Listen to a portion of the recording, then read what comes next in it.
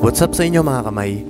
Ang pag-uusapan natin ngayon ay yung mga madalas na tinatanong sa akin sa comment section kung magkano nga ba ang dapat na singil sa padrawing ng portrait o paano yung tamang pricing kung magsisimula ka pa lang tumanggap ng mga komisyon. Isishare ko muna sa inyo yung experience ko tungkol dito. Nagsimula akong tumanggap ng komisyon siguro mga 6 months pa lang ako nagdo-drawing ng portrait. Hindi pa masyadong maganda yung gawa ko pero pwede na. Mga kakilala, kaibigan at kamag-anak yung mga una ko naging client. 350 to 500 pesos yung price range ko. Minsan nga mas mababa pa dahil nakakahiya. Ganyan talaga sa una. At ikaw mismo ang makakapansin sa huli kung sapat na ba to o lugi tayo. Paano ba malalaman kung lugi ka sa presyo mo? Simple lang. Pag wala ka naiipon at hindi ka nakakabili ng pamalit sa mga art materials na ginagamit mo. So paano ba tayo magpe-presyo ng tama? Kung baguhan pa lang tayo at wala pa tayong isang taon na nagdo-drawing ng portrait, pwede tayo magsimula sa 300 to 500 pesos. Huwag kang mag-alala sa quality ng drawing mo. Kasi hindi naman sila lalapit sa'yo o magpapagawa sa'yo kung hindi sila nagagandahan sa gawa mo. Kaya karapatan mo naman na mag-demand kung magkano yung dapat nilang ibayad sa'yo. Mas maganda din kung gagawa agad tayo ng price list para ito na lang isesend natin sa mga mag inquire At kung gusto nila ng naka-frame, dagdag lang natin sa regular price natin kung magkano yung frame. At syempre yung pamasahe na rin natin sa pagbili ng frame at yung abala sa pagkabit nito. Kung lagpas isang taon na tayo sa pagpo-portrait at pansin natin yung improvement sa gawa natin, so from 300 to 500 pesos, pwede na tayong tumalon sa 500 to 1,000 pesos. Inuulit ko mga kamay, huwag kang mag-alala sa quality ng drawing mo. Huwag kang mahihiya na magsabi ng presyo mo, kasi sila yung lumapit sa'yo. Pag napansin kasi ng ibang client na nahihiya ka, lalo ka nilang babaratin. Maniwala ka kasi naranasan ko na rin to. Dapat ipakita mong kumpiyansa ka sa talent mo.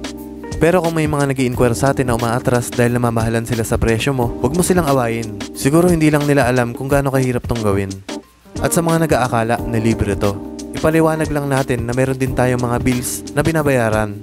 Hindi rin libre yung mga materyales na ginagamit natin. Pero kung talagang matilok yung mga yan, pwede natin yan barabarahin. Tulad ng mga ginagawa ko sa vlog ko na how to deal with pa-drawing ng libre. Hindi ko sinasabing gayahin mo ko, pero ipaglaban mo kung ano yung tama para sa'yo. Habang nag improve tayo, pwede tayong magdagdag ng presyo paunti-unti. Sigurado madami na din tayong nakukuhang client habang tumatagal tayo sa trabaho na to. Siyempre, nire-recommend na din tayo ng mga suki natin na nasasatisfy sa gawa natin at nagkakaroon tayo ng exposure sa social media. At isang mahalagang paalala pala mga kamay, ipatupad natin ang payment first policy.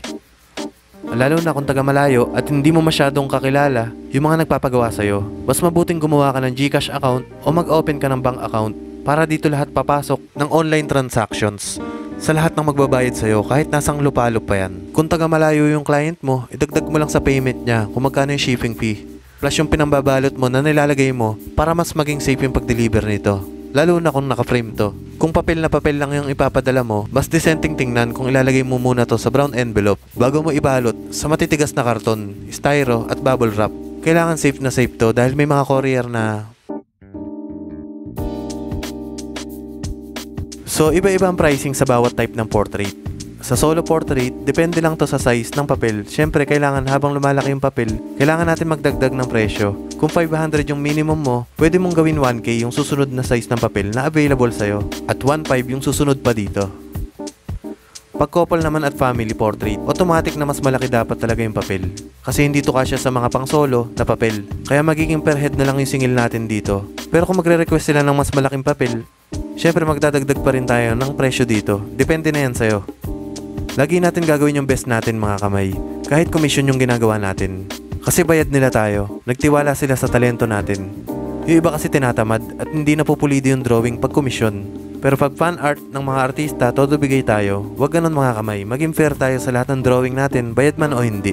Kung malabo naman yung mga binibigay na picture ng mga client natin, may mga paraan para ma-edit to para luminaw. At yung share ko na to, ito yung opinion ko. Kung sa tingin nyo kulang pa yung mga sinabi kong presyo, kayo na bahala magdagdag. Yun lang mga kamay. Kung may mga katanungan pa kayo, i-comment nyo lang yan sa ibaba. At bago tayo matapos, kung bago ka pa lang dito sa channel ko, at nagustuhan mo yung mga ganitong klase ng video, huwag kalimutan na mag-subscribe at kalembangin ang notification bell para lagi kang maunang makakanood pag may bago tayong upload. At shoutout nga pala sa mga solid kamay dyan.